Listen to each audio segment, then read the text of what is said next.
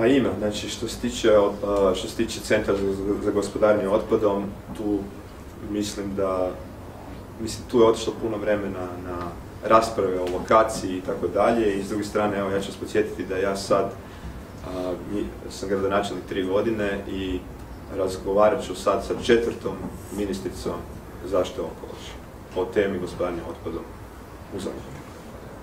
Znači četiri ministra su promijenjena u moje tri godine od kad sam načelnik na temu gospodarenja otpadom.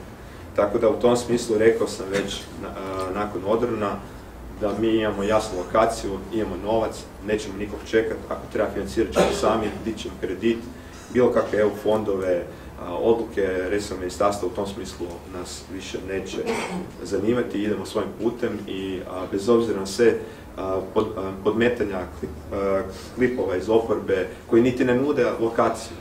Znači svi se bune protiv lokacije, ali ne nude alternativu. Mi od toga nećemo odustati, imamo jasan program, njega se držimo da 2028. godine otvorimo centar za gospodanje